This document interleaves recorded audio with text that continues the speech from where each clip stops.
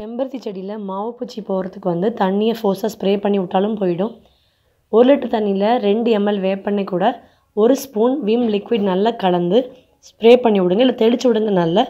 இது வாரத்தில் ரெண்டு நாள் பண்ணுங்கள் எல்லா மாவு பூச்சியுமே போயிடும். ட்ரை பண்ணி பாருங்கள்